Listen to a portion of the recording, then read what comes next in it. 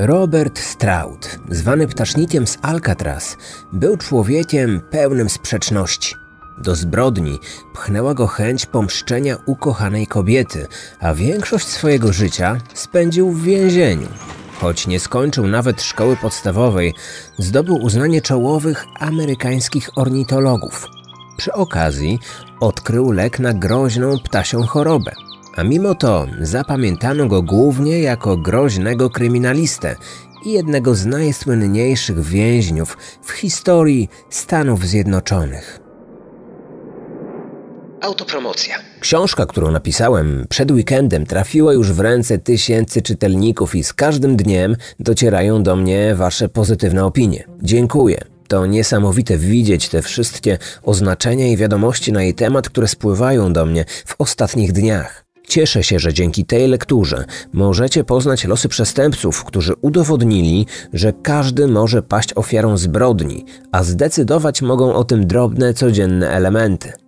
Książka jest już dostępna od ręki. Jeżeli ty jeszcze jej nie masz, a chcesz mieć swój egzemplarz, to zamów go teraz na kryminatorium.alt.pl. Przypominam także, że to już ostatni moment. Zostało już naprawdę niewiele czasu, aby zamówić książkę z darmową dostawą. Zrób to teraz szybko i bezpiecznie na stronie podanej w opisie odcinka.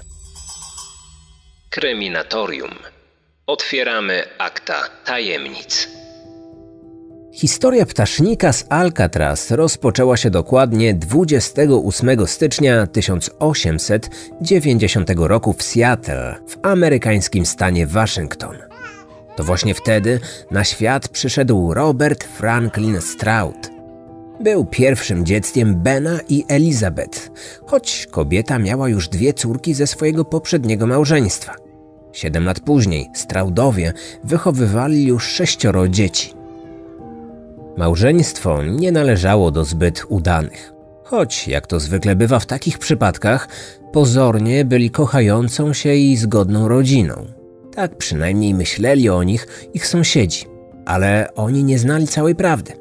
W rzeczywistości Ben był agresywnym alkoholikiem, który znęcał się fizycznie nie tylko nad swoją żoną, ale i dziećmi.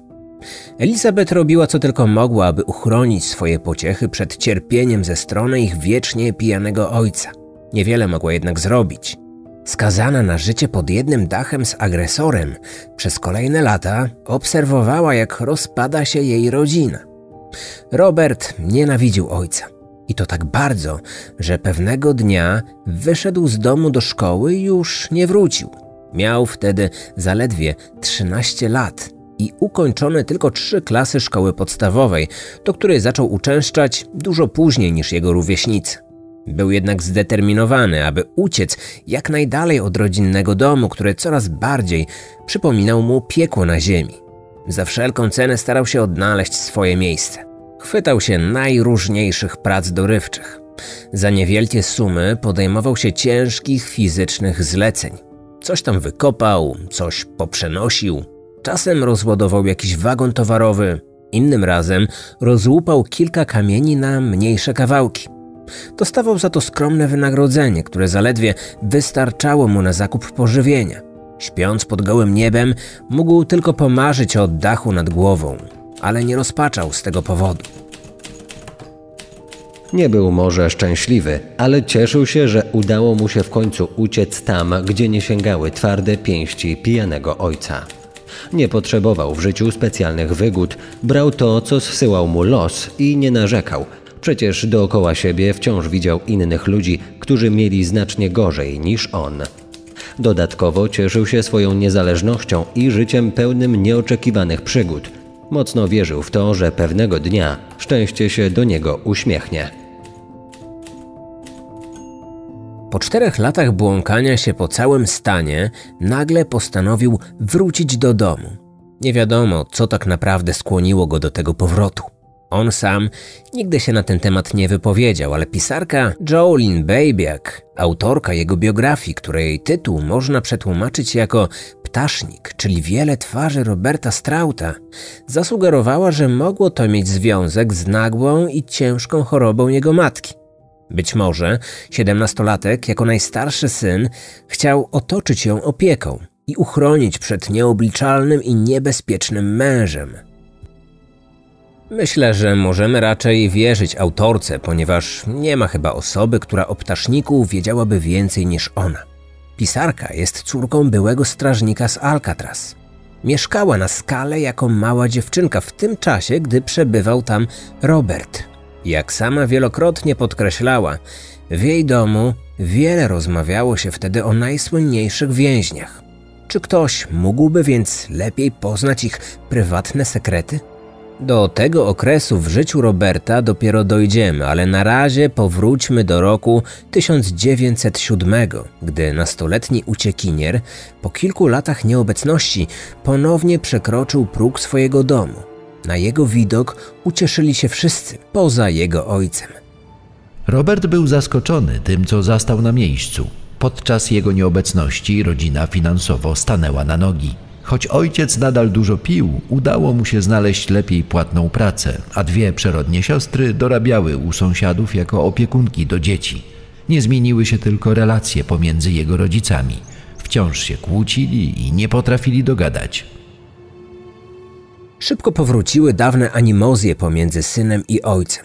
Robert, mierzący już wtedy 190 cm wzrostu, był znacznie silniejszy niż przedtem, więc nie dochodziło do przemocy fizycznej.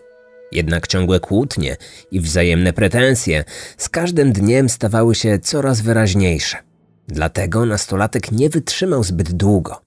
Gdy tylko kilka miesięcy później matka poczuła się lepiej, ponownie zniknął bez pożegnania. Wychodząc z domu, prawdopodobnie nie zdawał sobie sprawy z tego, że już nigdy do niego nie wróci.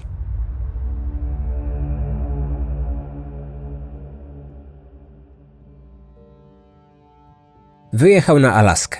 Znalazł zatrudnienie jako pracownik taboru kolejowego w szybko rozwijającym się miasteczku Katala. Do jego obowiązków należało rozładowywanie przypływających do portu parowców towarowych. Praca była bardzo ciężka fizycznie, ale dobrze płatna. Wypłata starczała mu więc nie tylko na jedzenie, ale na wynajęcie pokoju w hotelu dla pracowników kolei. I po raz pierwszy w swoim życiu nie martwił się już o swój byt. Ale wtedy nastała późna jesień 1907 roku. Wraz z nią przyszła seria gwałtownych burz, które całkowicie zniszczyły miasto. W ciągu następnych kilku tygodni liczba mieszkańców spadła z ponad 5 tysięcy do zaledwie 150 osób. Tylko nieliczni wierzyli, że miasto uda się odbudować. On nie wierzył, więc wyjechał stamtąd jako jeden z pierwszych. Skierował się do oddalonej o niecałe 80 kilometrów na północny zachód Kordowy – tam kontynuował pracę na kolei, ale już jako układacz torów. I miał z tego jeszcze więcej pieniędzy. Życie na Alasce spodobało mu się tak bardzo, że postanowił zostać tam na stałe. Do szczęścia brakowało mu tylko jednego kobiety, z którą mógłby stworzyć udany związek. Wkrótce los się do niego uśmiechnął. Latem kolejnego roku poznał Kate. Zakochał się w niej do szaleństwa, podobno ze wzajemnością. On miał wtedy zaledwie 18 lat. Ona była od niego dwa razy starsza. Miała 36 lat, ciemno-niebieskie oczy, rude włosy i jasną, piegowatą cerę, zdradzającą jej irlandzkie pochodzenie. Mówiono o niej, że była jedną z najpiękniejszych kobiet w mieście. Jednak zdaniem Tomasa Gaddisa, innego autora biografii ptasznika, trzeba pamiętać o jednej ważnej kwestii. W tamtych czasach na Alasce mieszkało niewiele kobiet. W społeczeństwie wypełnionym w większości przez samotnych mężczyzn, prawie każdemu dama poniżej pięćdziesiątki uchodziła za atrakcyjną i często nazywana była przez nich dziewczynką. Robert od razu zaczął myśleć o ślubie, a mimo to postanowił, że nie przedstawi matce swojej narzeczonej, przynajmniej nie przed zawarciem małżeństwa. Bał się jej reakcji. Domyślał się, że ona nigdy nie zaakceptuje takiej synowej. I nie tylko chodziło o zbyt dużą różnicę wieku. I nie o to, że miała już córkę, nie wiedząc nawet tego, kto był jej ojcem. Największym problemem wydawała się profesja Kate. Kobieta była tancerką rewiową, występującą pod pseudonimem Kitty O'Brien. To nie wszystko, bo w wolnych chwilach dorabiała jako pani do towarzystwa.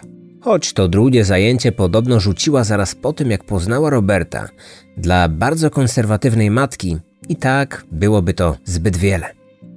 Dlaczego dojrzała 36-latka postanowiła stworzyć związek z niedoświadczonym małolatem, który mógłby być przecież jej synem?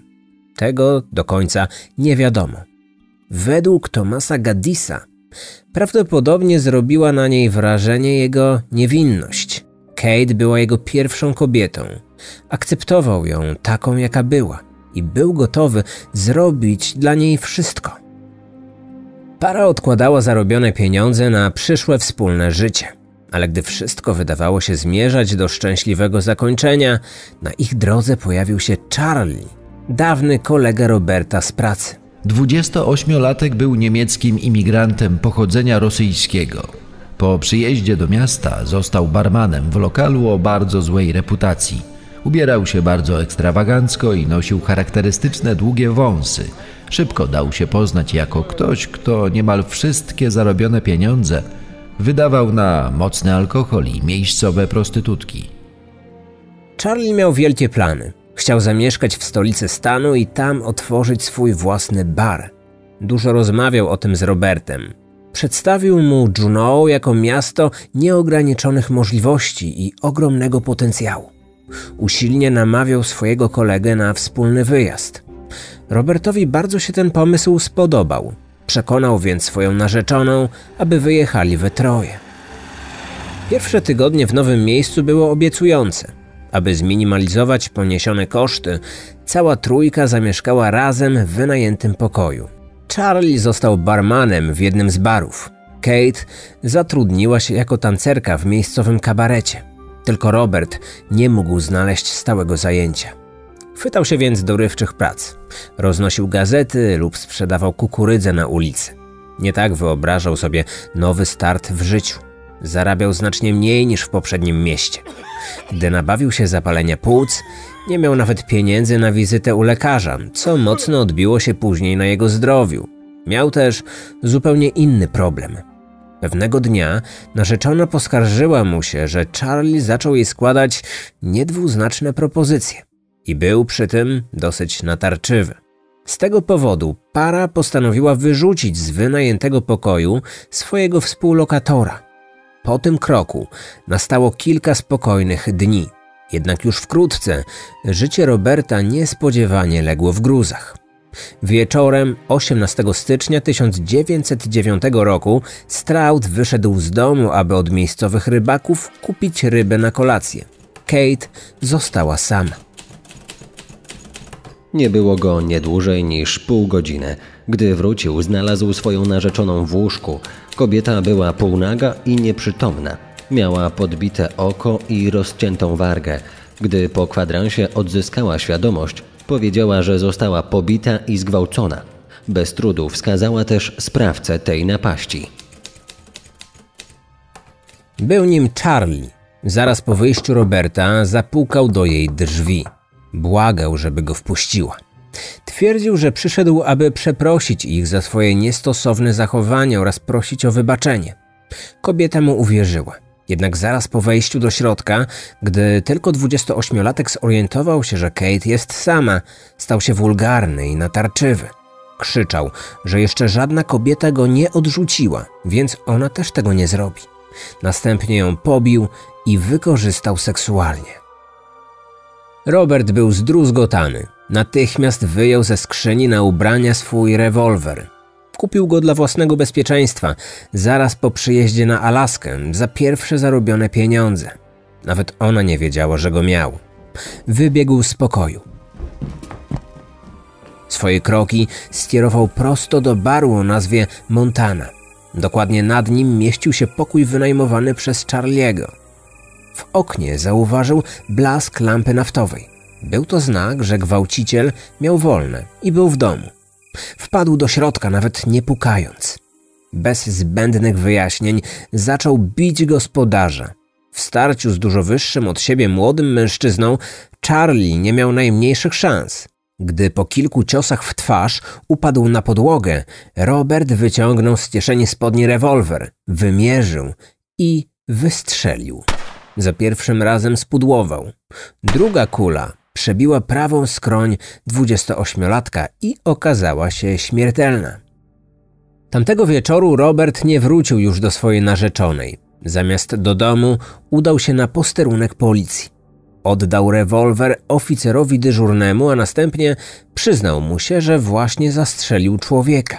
Natychmiast zamknięto go w areszcie, gdzie miał poczekać na dalszy rozwój rozpoczętego śledztwa. Gdy matka Roberta dowiedziała się o aresztowaniu syna, za wszystkie swoje oszczędności wynajęła w Seattle prawnika, który przyjechał do Alaski, aby bronić dziewiętnastolatka w sądzie. Po zeznaniach, które złożyła Kate, wierzył on, że uda mu się wyciągnąć chłopaka na wolność. Zbrodnia popełniona w afekcie miała jego zdaniem dużą szansę na uniewinnienie. Tak się jednak nie stało. Robert Stroud został uznany winnym zabójstwa i skazanym na 12 lat więzienia. Następnego dnia skutego skazańca przetransportowano do stanu Waszyngton i umieszczono w więzieniu na wyspie McNeila. Choć więzienie słynęło z bardzo ostrego rygoru, Robert szybko się w nim odnalazł. Nie sprawiał problemu strażnikom, nie miał większych zatargów z innymi więźniami. Chciał po prostu odsiedzieć swój wyrok i wyjść na wolność. Domyślił się także, że Kate nie będzie na niego czekać. I nie pomylił się. Choć przez pierwsze miesiące regularnie otrzymywał od niej listy, to później korespondencja z Alaski przestała przychodzić. Nawet nie miał jej tego za złe. Matka Roberta co tydzień starała się o pozwolenie na widzenie z synem. W ciągu trzech następnych lat otrzymała tylko jedną zgodę na 15-minutowe odwiedziny i była jedyną osobą ze świata zewnętrznego, jaką w tym czasie zobaczył. Kobieta wciąż wydawała duże sumy na kolejnych prawników, którzy obiecywali wyciągnąć jej syna z więzienia. On sam po kolejnej odrzuconej apelacji przestał wierzyć, że na wolność wyjdzie przed czasem. Wtedy zmienił się nie do poznania. Stał się agresywny i opryskliwy. Często wchodził w konflikty ze strażnikami. Wdawał się także w bójki z innymi osadzonymi, które często sam prowokował. Gdy jeden z więźniów doniósł na niego, że ukradł jedzenie ze stołówki, Robert dźgnął go własnoręcznie wykonanym nożem. Podobnie jak sanitariusza, kiedy ten zawiadomił naczelnika, że Robert, przebywając w więziennym szpitalu, ukradł stamtąd ampułkę z morfiną. Za te dwa ataki dołożono mu dodatkowy rok do dwunastoletniego wyroku oraz przeniesiono do więzienia federalnego o zaostrzonym rygorze w Kansas. Był rok 1912, a jemu do wyjścia pozostawało jeszcze 10 lat. W nowym miejscu Robert spotkał się z wyjątkową brutalnością strażników. Funkcjonariusze często nadużywali swojej pozycji. Bili więźniów za pomocą pałek lub samodzielnie wykonanych maczuk. I to podobno bez najmniejszego powodu. Naczelnik przymykał oczy na ich występki, ponieważ uważał, że tylko bezwzględni strażnicy byli w stanie zapanować nad jeszcze bardziej bezwzględnymi kryminalistami. Za każde złamanie więziennego regulaminu Robert lądował w izolatce, czasami na kilka dni, innym razem na kilka tygodni. W tym czasie popadł w ostry konflikt z jednym z najbardziej znienawidzonych strażników. Ten pan nazywał się Andrew Turner. Postanowił zmienić w piekło życie więźnia o numerze 17431. Zaczęło się od tego, że Robert notorycznie łamał przepis zabraniający jakiegokolwiek odzywania się do innych więźniów. Większość strażników zwykle przymykała na to oko, ale nie on. Za każdym razem składał odpowiedni raport, po którym Robert natychmiast trafiał na 24 godziny do izolatki zwanej norą, gdy w końcu nadchodził moment opuszczenia tego miejsca, a wypuszczał go stamtąd właśnie Turner, Robert, zanim wyszedł, obrażał go, używając najgorszych znanych mu obelg. W zamian otrzymywał kilka uderzeń maczugą, a potem wracał z powrotem do nory na kolejną dobę. Zyskał za to szacunek u innych osadzonych, ale otwartą wrogość całego więziennego personelu. Ten konflikt zaostrzył się na początku 1916 roku, gdy na długo wyczekiwane odwiedziny do Roberta przyjechał do Kansas jego młodszy brat, Markus. Wtedy strażnik postanowił się zemścić za wszystkie wcześniejsze zniewagi.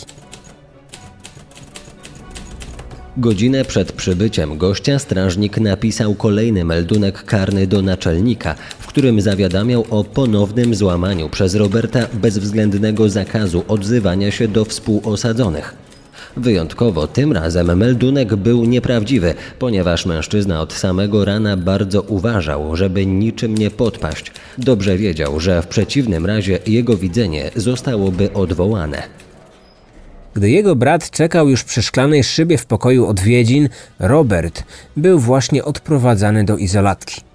Kilka minut później Markus został oficjalnie poinformowany, że umówiona trzy miesiące wcześniej wizyta się nie odbędzie z powodu złego zachowania więźnia. Kilka dni później Robert w obecności innych więźniów nazwał znienawidzonego strażnika pieprzonym bydlakiem. W zamian otrzymał nie tylko uderzenie maczugą, ale także cofnięcie przywileju odwiedzin na czas nieokreślony. Był wściekły, bo za miesiąc spodziewał się wizyty swojej matki. Na początku marca Elizabeth, która w tym czasie przeniosła się do Kansas, aby być bliżej syna, otrzymała list z więzienia. Naczelnik poinformował ją, że umówione odwiedziny zostały odwołane. Dowiedział się o tym także Robert. Wtedy przysiągł sobie, że przy najbliższej okazji zemści się na znienawidzonym strażniku a ta nadarzyła się 26 marca 1916 roku, dokładnie następnego dnia po anulowanym widzeniu.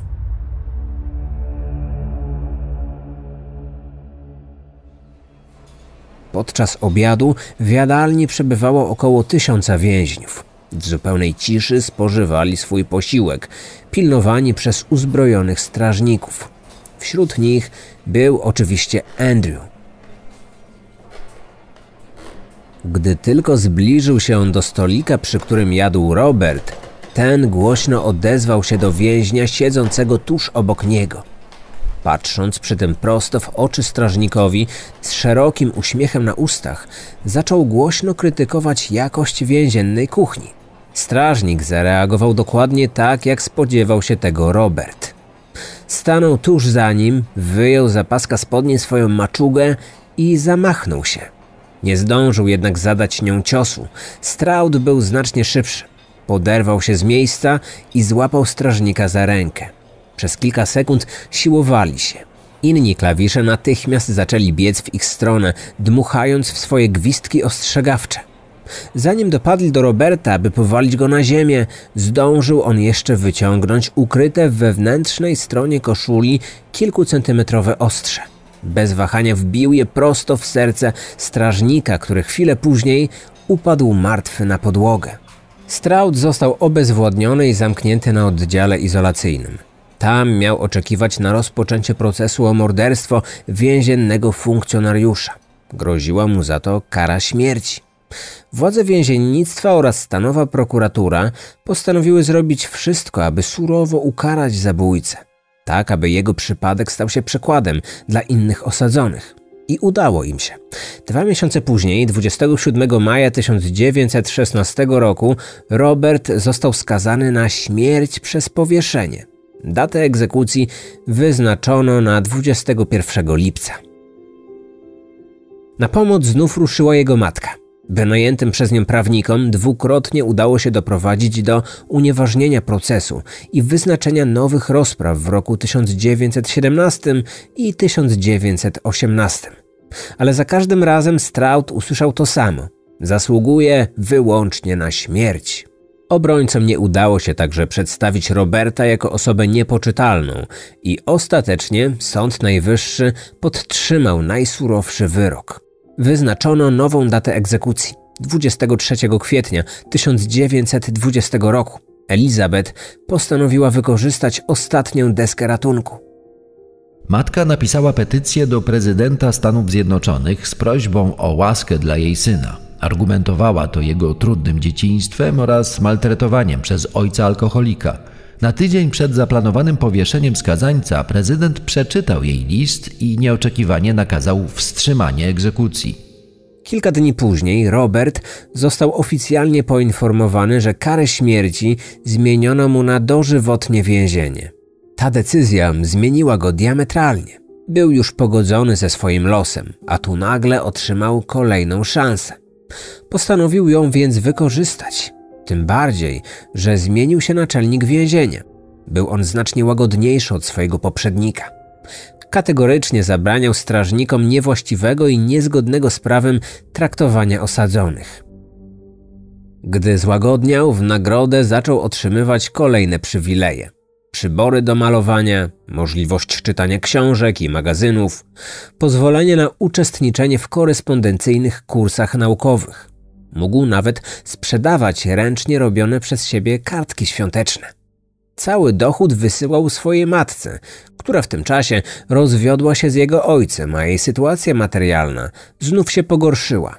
Czerwiec 1920 roku okazał się dla Roberta czasem niezwykle przełomowym i jak się miało w przyszłości okazać, zaważył na powstaniu legendy z nim związanej.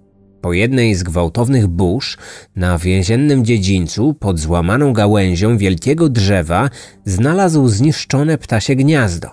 Obok niego leżały trzy ranne młode wróble. Przejął się nimi tak bardzo, że postanowił zabrać ptaki do swojej celi. Zapisał się na więzienną stolarnię, aby móc zbudować im drewnianą budkę. Przez kolejne tygodnie troskliwie się nimi opiekował, karmił i obserwował. Nie wiedział niczego o wróblach, więc w więziennej bibliotece wypożyczał kolejne książki poświęcone ptakom. Przeczytał je wszystkie. Dowiedział się, jak powinien się nimi opiekować, jak je leczyć, a nawet jak nauczyć je prostych sztuczek. Naczelnik był pod wrażeniem nowego hobby więźnia. Dodatkowo zauważył, że dzięki tej pasji mężczyzna zmienił się w jednego z najpotulniejszych osadzonych. Pozwolił mu więc na trzymanie w celi narzędzi do budowy klatek dla ptaków. Wkrótce miłość do wróbli zastąpił miłością do kanarków.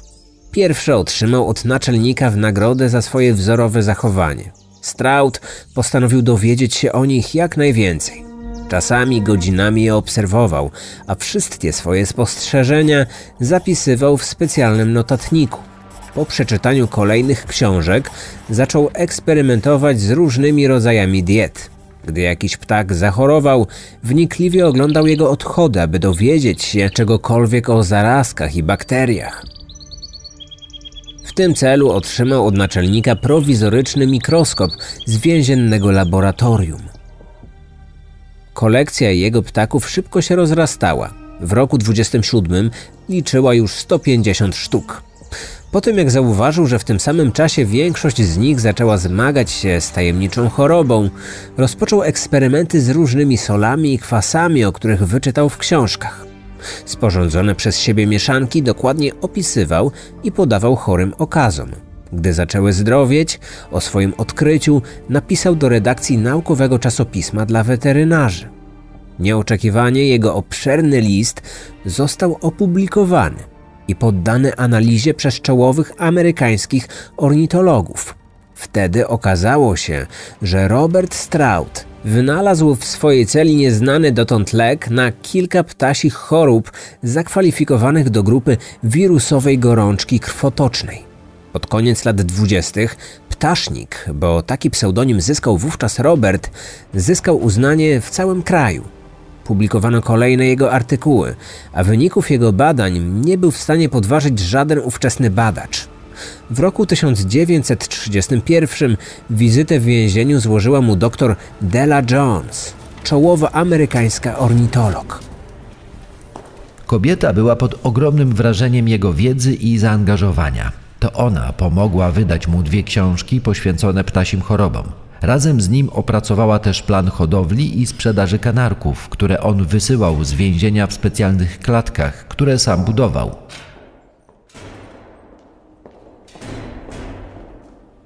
Dr Jones pomagała mu również sprzedawać wytwarzane przez niego leki.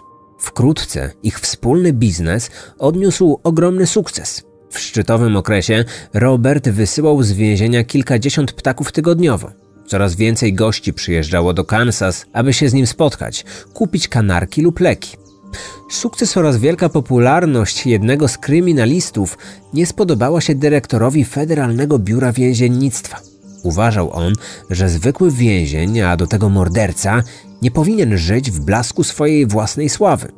Przychylny mu naczelnik został zwolniony, a jego miejsce zajął człowiek mający za zadanie zniszczenie popularności ptasznika i pozbycie się całej więziennej hodowli. Nowy naczelnik rozkazał zabrać mu cały sprzęt i zniszczyć wszystkie klatki. Robert stracił ponad 300 ptaków. Napisał skargę do władz, ale nie doczekał się żadnej odpowiedzi. Wtedy dr Jones postanowiła mu pomóc. W środowisku amerykańskich naukowców przeprowadziła kampanię na rzecz przywrócenia więźniowi przywileju posiadania hodowli.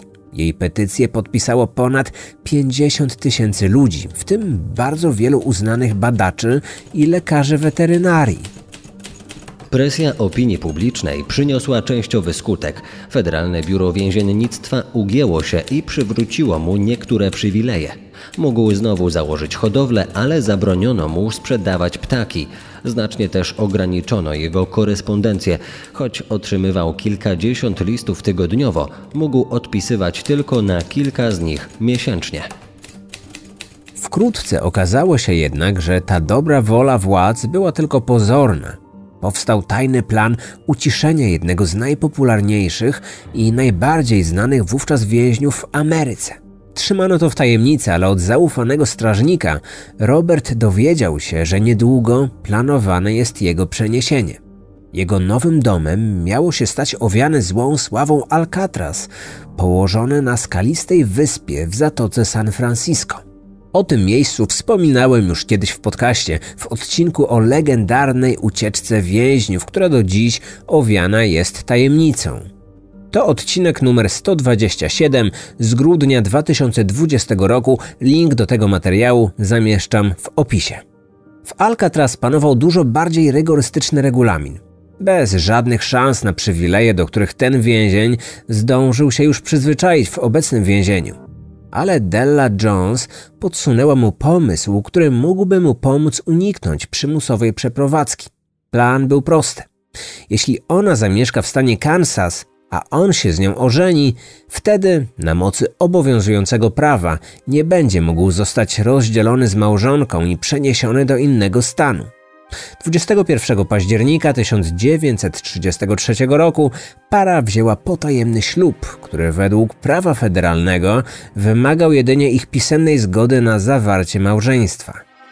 Gdy naczelnik więzienia się o tym dowiedział, jeszcze bardziej ograniczył przywilej Roberta. Nie tylko uniemożliwił mu widzenia z nową żoną, ale także nie przekazywał mu od niej listów. Przez następne lata, pomimo wszelkich trudności w utrzymywaniu hodowli ptaków, Robert nadal prowadził swoje badania. Dzięki zaprzyjaźnionym funkcjonariuszom udało mu się nawet sprzedawać ptaki. Strażnicy potajemnie wynosili kanarki w rękawach mundurów poza mury więzienia, a później wysyłali je pocztą do jego klientów. Co ciekawe, kilka sztuk dla swojej matki kupił wtedy sam dyrektor FBI, słynny J. Edgar Hoover. W kolejnych latach stan zdrowia więźnia znacznie się pogorszył. Oprócz powikłań po niewyleczonym nigdy zapaleniu płuc, nabawił się także kłębuszkowego zapalenia nerek. Miał również problemy z prostatą. Przy wzroście 191 cm jego waga spadła poniżej 60 kg. Choć każdego dnia cierpiał na niewyobrażalny ból, więzienni lekarze na polecenie naczelnika odmawiali podania mu środków przeciwbólowych. Gdy Robertowi wydawało się, że już nic gorszego nie może go spotkać, pod koniec 1942 roku zmieniło się prawo federalne. Jego małżeństwo przestało być dla niego gwarancją pozostania w stanie Kansas. Oczywiście władze więzienia musiały brać to pod uwagę przy podejmowaniu decyzji o przeniesieniu, ale po zmianie przepisów już nie musiało się do tego kategorycznie stosować. Dyrektor Federalnego Biura Więziennictwa, upokorzony kilka lat wcześniej przez ptasznika oraz jego żonę jej sprytny plan, nie mógł nie wykorzystać tej sytuacji. We wtorek 19 grudnia 1942 roku strażnicy wyrwali go ze snu, zanim jeszcze w całym więzieniu ogłoszono pobudkę. Robert został wyprowadzony z celi. Nie mógł się spakować. Nie mógł też zabrać żadnych swoich rzeczy. Dopiero po opuszczeniu więzienia dowiedział się, że po 26 latach spędzonych w Kansas zostanie przewieziony do Kalifornii, do Alcatraz. Zanim rozpoczął swoją podróż, zdążył jeszcze poprosić strażników, aby wszystkie ptaki wysłali do jego brata. Tak też zrobili i niedługo później Markus Straut odebrał z poczty 33 klatki ze 118 ptakami. Więzienie federalne na wyspie Alcatraz w zatoce San Francisco miało wiele określeń. Skała, najgorsze miejsce Ameryki, piekło za kratami. I każde z nich budziło w więźniach prawdziwą trwogę. Nawet sam legendarny gangster Al Capone po kilkuletnim wyroku przyznał, że Alcatraz go pokonało. Przetrzymywano tam najgroźniejszych kryminalistów, głównie takich, którzy w innych zakładach karnych nie chcieli dostosować się do przyjętego regulaminu. Alcatraz, nazywany najsurowszym więzieniem Ameryki, miało stać się dla nich ostatnim domem. 150 więźniów pilnowanych było przez 52 strażników. Osadzeni przebywający w pojedynczych celach usytuowanych na czterech blokach byli bez przerwy obserwowani i dokładnie liczeni co dwie godziny. To, co w innych placówkach uchodziło za normę, w Alcatraz stawało się przywilejem. Farby do malowania, instrumenty muzyczne, papier do pisania. Nawet żeby przeczytać książkę lub czasopismo, więźniowie musieli sobie na to zasłużyć.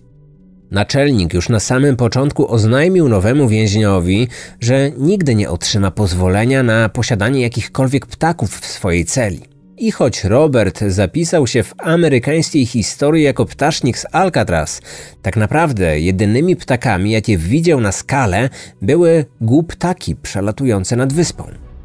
Pozwolono mu jednak korzystać z więziennej biblioteki, aby mógł poszerzać swoją wiedzę z dziedziny ornitologii. Ku jego rozpaczy niewiele tam było tytułów poświęconych ptakom. Zainteresował się więc prawem karnym. Pochłaniał każdą książkę na ten temat. Po pewnym czasie zaczął wykorzystywać nowo zdobytą wiedzę. Pisał dziesiątki pism i petycji z prośbami o zwolnienie warunkowe. Twierdził w nich, że jego wyjątkowo długie uwięzienie było zbyt surową karą za przestępstwa, jakie popełnił. Jednocześnie wierzył, że dotychczasowymi badaniami i opracowaniami naukowymi z ornitologii spłacił swój dług wobec społeczeństwa. Sądy federalne były jednak odmiennego zdania, więc jego kolejne wnioski natychmiast odrzucano. Sfrustrowany takim traktowaniem, swoje rozczarowanie zaczął przelewać na papier. W ten sposób napisał książkę o historii amerykańskiego systemu więziennictwa od czasów kolonialnych do 30. XX wieku. I to w zasadzie wszystko, co ciekawego można by powiedzieć o latach, które Robert spędził w Alcatraz. Nawet w swojej celi o numerze 42 przebywał niewiele czasu. Mocno schorowany, większość lat na skale przesiedział w tamtejszym oddziale szpitalnym. Wbrew temu, co mówi o nim legenda, w Alcatraz nie sprawiał żadnych kłopotów. Nie siedział bez przerwy w izolatkach zwanych psimi budami. Nie postradał zmysłów i nie widywał ptaków, których nie było. Nie brał udziału w słynnej bitwie o Alcatraz w maju 46 roku, kiedy kilku więźniów, próbując uciec, wzięło strażników jako zakładników. W Alcatraz ptasznik spędził 17 lat. W roku 59 z powodu złego stanu zdrowia został przeniesiony do znacznie łagodniejszego centrum medycznego dla więźniów federalnych w stanie Missouri. Tam dalej walczył o zwolnienie, ale wciąż nieskutecznie. Jolene Babiak twierdzi w swojej książce, że powodem tych odmów było wytworzenie przez mainstreamowe media bardzo złej reputacji Roberta. Podobno uczyniono to na specjalne polecenie Federalnego Biura Więziennictwa, które za wszelką cenę chciało zatrzymać słynnego przestępcę w więzieniu. Amerykańską prasę zalały plotki o tym, że nie był on tak naprawdę narzeczonym Kate, ale jej Alfonsem. I to z tego powodu zabił Charlie'ego, który po prostu nie chciał zapłacić za wykonaną przez kobietę usługę. Pisano także, że to on uwziął się na niewinnego strażnika, którego postanowił zabić. Pojawiło się nawet nowe wytłumaczenie powodu jego nagłej przeprowadzki do Alcatraz. Stroud miał w swojej celi zamiast leków dla ptaków produkować nielegalny alkohol, który rozprowadzał za pieniądze po całym więzieniu. Dopiero po wielu latach wszystkie te rewelacje zaczęły być stopniowo weryfikowane przez badaczy i historyków. Wtedy okazało się, że zdecydowana większość z nich była wyssana z palca. Robert Stroud nigdy nie odzyskał upragnionej wolności. Zmarł 21 listopada 1963 roku w wieku 73 lat. Następnego dnia napisała o tym większość amerykańskich gazet, ale choć był on już wówczas chyba najbardziej znanym więźniem w kraju, informacji o jego śmierci praktycznie nikt nie zauważył. Tamtego dnia uwagę wszystkich Amerykanów przykuł zamach na prezydenta Johna Kennedy'ego w Dallas. Obaj zostali pochowani tego samego dnia, 25 listopada. Ptasznik z Alcatraz za kratami spędził łącznie 54 lata swojego życia, z czego 42 w pojedynczej celi bez jakiegokolwiek kontaktu z innymi ludźmi. Dziś uznawany jest w Stanach Zjednoczonych za jednego z najpopularniejszych więźniów w historii Ameryki. I kojarzony jest głównie z Alcatraz, choć akurat w tym miejscu głównie chorował w szpitalu. Biografowie Roberta Strauta są zgodni. Może i był on mordercą, a dwa zabójstwa popełnił z zimną krwią, ale na pewno nie był aż tak wielkim wcieleniem zła, jak próbowano go przez długie lata przedstawiać. Jego przekleństwem stało się to, że od najmłodszych lat trafiał na złych ludzi, którzy niejako pchali go na kryminalną ścieżkę. Tak, bo niewątpliwie dzieciństwo i najmłodsze lata są bardzo ważne dla każdego człowieka. Dlatego też tak wiele uwagi poświęciłem temu wątkowi w mojej książce Zbrodnia obok ciebie. Autopromocja. Już teraz wy razem ze mną możecie przeanalizować wczesne życie sprawców pewnej zbrodni, aby zastanowić się, co mogło doprowadzić do tego, że ktoś z czasem schodzi na złą ścieżkę. Przypominam, że tylko do najbliższej środy, 16 listopada, można zamówić książkę z opcją bezpłatnej dostawy, więc jeśli myślisz o zakupie tej lektury, warto zrobić to teraz, szybko i bezpiecznie na stronie kryminatorium.alt.pl. Odcinek powstał na podstawie dwóch biografii: Birdman The Many Faces of Robert Stroud autorstwa Jolene Bayback oraz Birdman of Alcatraz The Story of Robert Stroud Thomasa Gaddisa. Wykorzystano również informacje zawarte w książce Jolene Bayback Breaking the Rock The Great Escape from Alcatraz oraz albumie Fortress Alcatraz Johna Martiniego.